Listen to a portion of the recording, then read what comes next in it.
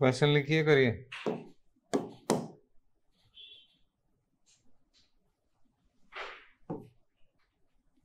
Triple का करोगे या डबल करोगे पहले? किससे शुरू शुरू करें? जैसे आपके दोनों चीज़ें हमारे पास। Double, okay. लाइट भी डबल।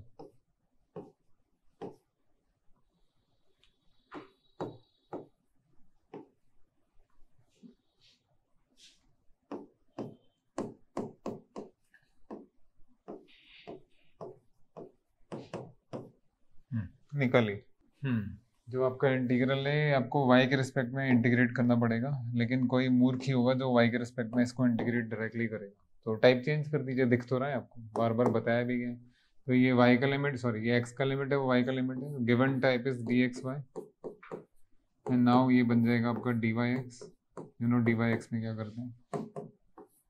y के लिए जैसे ही आप कॉन्स्टेंट लेंगे तो ये बाहर यही किया आप लोगों ने? या कुछ और कर दिया? और एक्स के लिए बिल्कुल यही करना चाहिए। अब आपको सही तरह से डायग्राम बनाना ही पड़ेगा। हाँ जी X is between zero and nine constant limit का कुछ नहीं है। And Y is between Y and three sorry root X and three तो Y equal to root X का मतलब फंक्शनल लिमिट ही बनाना चाहिए वैसे तो हमें। So Y square equal to X का पैराबोला बन गया।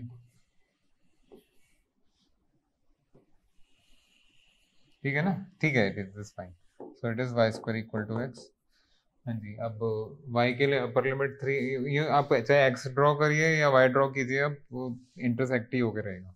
चलिए, ये, y के लिए देखते हैं। y के लिए पहले रूट एक्स आया फिर थ्री आया तो वाई के लिए root X and then Y के लिए थ्री ओके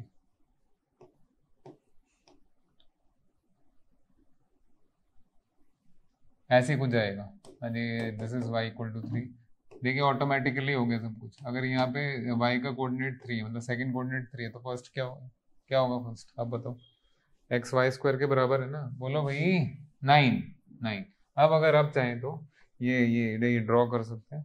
तो एक्स ज़ीरो से शुरू होकर नाइन पे तो दिख ही रहे। तो ये एक्स इक्वल टू ज़ीरो हो गया और ये एक्स इक्वल टू नाइन हो गया। तो हमें कुछ ज़्यादा तकलीफ़ नहीं उठानी पड़ी। Is it okay now the question is अब कौन सा वाला पोर्शन शेड होगा? क्योंकि उसी से पता लगेगा टाइप कैसे चेंज किया जाए।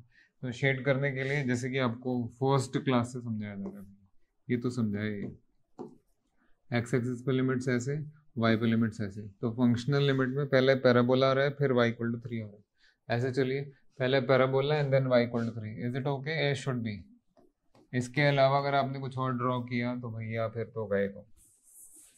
फिर तो गए। आ जाओ। वाई का लिमिट बताइए, कौन से दो कॉन्स्टेंट्स के बीच में यहाँ से? ज़ीरो से थ्री एक्स के लिए फंक्शनल लिमिट बताएँगे। एक्स पे कैसे चलते हैं ऐसे? यू नो ऐसे चलिए। एंड यू नो पहले क्या है, बाद में क्या है? You know very well yes zero से शुरू हो रहे हैं। अपर लिमिट ये। एक्स कितना? Y square is it okay online students yes sir तो जो परेशान कर रहा था इंटीग्रेशन करने में, उसकी सारी परेशानी खत्म होने वाली है, क्योंकि इसका डेरिवेटिव साथ में आ गया है। आ गया? ये देखिए तो क्वेश्चन इतना अच्छा अरेंज करके दिया उन्होंने। इसको टीपुट कीजिए आंसर निकालिए जल्दी कीजिए। एक क्वेश्चन आते ही आता है टाइप चेंज करने वो क्वेश्चन आपको पुकार पुकार के कहेगा।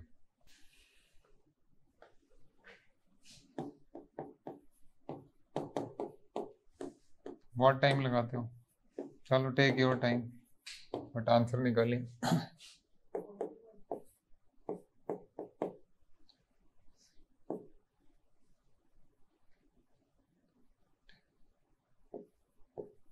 ट्वेंटी एट है ना अपर लिमिट